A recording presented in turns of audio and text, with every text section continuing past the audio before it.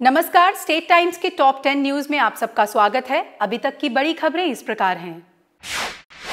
जारी वित्त वर्ष में केरीपुग ने एक सौ बासठ आतंकी माओवादी मारे जम्मू कश्मीर में अब हालात हुए बेहतर। केंद्रीय रिज़र्व पुलिस बल के जाबाजों ने दिखाया दमखम, भारत माँ के जय घोष से गूंज उठा कोना।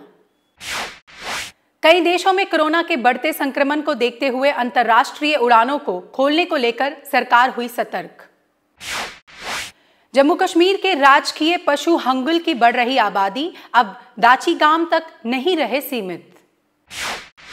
नियुक्तियों में धांधलियों में फंसे जेके बैंक के पूर्व चेयरमैन परवेज का पासपोर्ट नहीं होगा जारी।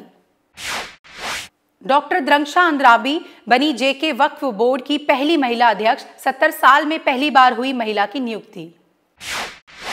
तवी रिवर फ्रंट से बदलेगी जम्मू शहर की सूरत, मेयर ने की जम्मू स्मार्ट सिटी परियोजनाओं की समीक्षा। जम्मू कश्मीर में बुधवार से 12 से 14 साल के आयु वर्ग के बच्चों के लिए वैक्सीनेशन अभियान हुआ शुरू। भारत से लगती सीमा वाले देशों में मिले तीन एफडीआई प्रस्ताव, सड़सठ को सरकार ने दी मंजूरी। तो ये थी अभी तक की कुछ बड़ी खबरें। और खबरों के लिए देखते रहें स्टेट टाइम्स।